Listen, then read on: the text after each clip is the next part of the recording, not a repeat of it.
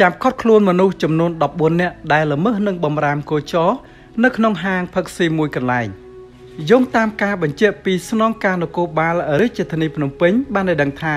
ម្ចាស់ហាងផ្ទះឈើម្ហូបខ្មែរចំនួន2នាក់និងភ្ញៀវចំនួន8នាក់សរុបចំនួន10នាក់ដែលមានស្រីម្នាក់ផងនោះបានបើកហាងនិងចូលផឹកស៊ីល្មើសនឹងបំរាមកោចរនៅក្នុងសង្កាត់ស្ទឹងមានជ័យ2ខណ្ឌមានជ័យ ត្រូវបានបញ្ជូនទៅសាលាដំបងរាជធានីភ្នំពេញនៅថ្ងៃទី12ខែសីហា2021នេះហើយគូបញ្ជាក់ផងដែរថាកាលពីវេលាម៉ោង9:30នាទីយប់នៅថ្ងៃទី10សីហា2021កន្លងទៅនេះ មានទីតាំងអាហារដ្ឋានមួយកន្លែង ដែលមានឈ្មោះថាផ្ទះឈើមហូបខ្មែរថៃ ដែលមានទីតាំងស្ថិតនៅផ្លូវបេតុងលេខ 20MC ក្នុងភូមិភ្នៀតសង្កាត់ស្ទឹងមានជ័យ2ខណ្ឌមានជ័យរាជធានីភ្នំពេញ បានល្មើសវិធានការរដ្ឋបាល និងល្មើសវិធានការរបស់ក្រសួងសុខាភិបាលត្រូវបានកម្លាំងគណៈបញ្ជាការឯកភាពខណ្ឌមានជ័យចុះបង្ក្រាបនិងខត់ខ្លួនបានទាំងថៃកែបុគ្គលិកនិងភ្ញៀវសរុបចំនួន14នាក់លោកវិរៈស្នេហ៍ឯកមេងវិមានតារាអធិការខណ្ឌមានជ័យបានបញ្ជាក់ប្រាប់អ្នកយកព័ត៌មានថាទីតាំងអាហារដ្ឋាននេះធ្លាប់បានខាងកម្លាំងប៉ុស្តិ៍នគរបាលស្ទឹងមានជ័យ2 ចោះអប់រំពីលើករួចមកហើយលុះមកដល់ថ្ងៃទី10សីហាក៏នៅតែបន្តទទួលភ្ញៀវផឹកស៊ីល្មើសនឹងវិធានការរដ្ឋបាល និងល្មើសនឹងវិធានការរបស់ក្រសួងសុខាភិបាលទៀតទៅកម្លាំងចម្រុះគណៈបញ្ជាការឯកភាព បានចុះបង្ក្រាប និងត្រួតពិនិត្យទីតាំងខាងលើរកឃើញថាមិនគោរពវិធានការរដ្ឋបាល និងមិនគោរពវិធានការរបស់ក្រសួងសុខាភិបាល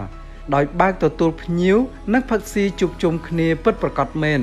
ប៉ុន្តែមិនមានការចាក់ភ្លេងឬក៏ច្រៀងអារម្មណ៍នោះឡើយគ្រាន់តែមានការជួបជុំគ្នាផឹកស៊ីពីសំណាក់ភ្ញៀវចំនួន2តុកផ្សេងគ្នា ដែលសរុបចំនួន9នាក់និងមាននារីបម្រើការនិងរត់តុកចំនួន4នាក់រួមទាំងថៅការហាងម្នាក់ទៀតផង ដែលសរុបទាំងអស់គឺមានចំនួន14នាក់ ត្រូវបានខត់ខ្លួន និងដោះហូតសម្ភារៈមានដូចជាម៉ូតូ6គ្រឿងផងដែរលោកអធិការខណ្ឌមានជ័យបានបន្តថាចំពោះទីតាំងអាហារដ្ឋានខាងលើដែលមានជាហៅថាផ្ទះឈើមហូបខ្មែរថៃ ដែលមានម្ចាស់ឈ្មោះថាហារីណាភេទស្រីអាយុ31ឆ្នាំស្នាក់នៅផ្ទះជួលភូមិភ្នៀតសង្កាត់ស្ទឹងមានជ័យ2ខណ្ឌមានជ័យត្រូវបានលោកពេជ្រកែវមនីអភិបាលនៃគណៈអភិបាលខណ្ឌមានជ័យ បានធ្វើកំណត់ហេតុបិទចោលចាប់ពីថ្ងៃនេះតទៅដោយគ្មានជនណាឬបុគ្គលណាម្នាក់មានសិទ្ធិបើកវិញឡើយព្រោះតែល្មើសនឹងវិធានការច្បាប់ក្នុងកិច្ចការពារជំងឺ Covid-19 បាទប្រិយមិត្តទាំងអស់គ្នាបាត់នេះជាបាទព័ត៌មានតកតងនឹង